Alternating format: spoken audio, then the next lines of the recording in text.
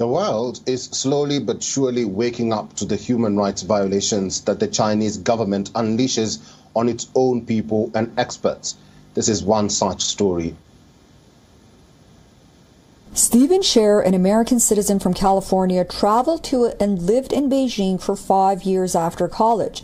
He founded an educational consulting firm in his 20s. In October 2016, however, he was wrongly accused of illegal employment, arrested, and thrown into a black prison military detention center with 20 foot high metal walls and armed guards around the perimeters. Despite having legal documents and a valid visa for almost a month, he was detained and tortured. Our blood was arbitrarily drawn. Our face was shoved into iris scanners. And as we are stripped down naked, we are marched through metal detectors. We're thrown into kind of prison garb. Uh, this like uh, we're handed bloodstained blankets, uh, and then we are kind of brought to a separate part of the facility, uh, which is a long corridor uh, and it is the conditions change horrifically. So the first prison cell uh, is housing about um, 17 different inmates, uh, including myself.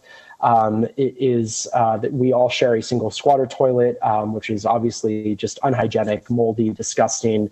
Um, a single sink. Uh, we are eating out of a communal trough. So the guards would come around and literally dump some type of toxic yellow sludge through a funnel through the door into a, a, red bucket. That red bucket is then kind of taken and put on these wooden planks, uh, where 17 inmates rush to just kind of eat out of th- this yellow sludge out of a bucket.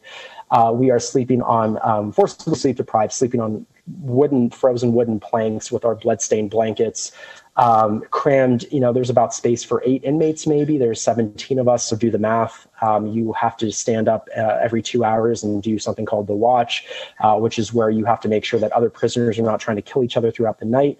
Um, you have a constant flood of light on your face, these heavy, large fluorescent beams just shooting down on you. They're ne- they never shut off. Yeah, these are impossible conditions to sleep in. Why do you think such extreme measures were taken against you? Uh, we hear that um, foreigners are often used as political pawns. But what do you do with a foreign national who all of a sudden is popular, who speaks the language fluently, who starts their own business, who maybe becomes married to a Chinese national, who has a Chinese child, who's influential, who grew, develops a large network and following online?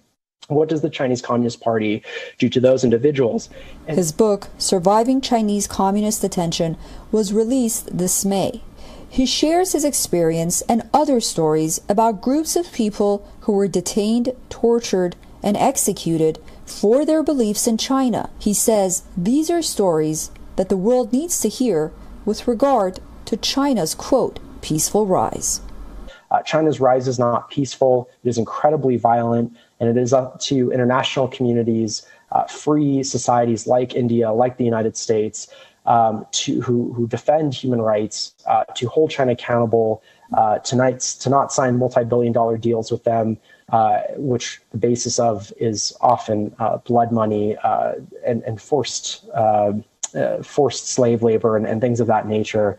so we have a moral imperative as a global community to stand up to these egregious human rights violations. Susan Tehrani from New York for WION. World is One.